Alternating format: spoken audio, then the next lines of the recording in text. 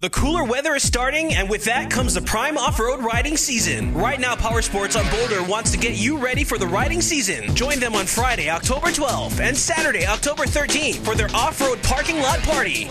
Many of your favorite ATVs, UTVs, and more will be out in their parking lot for you to check out and pick the perfect one for the type of riding you enjoy most. Check out some of the brand new 2013 Polaris RZRs, Rangers, and Sportsmen, and find out about the special finance programs they have to offer on many of these Polaris vehicles. Also, they'll have parts, accessories, and apparel for all of your off-roading needs. There will be free food, raffle prizes, vendors, and more. So head out to RideNow Powersports on Boulder, Friday, October 12th and Saturday, October 13th for their off-road parking lot party.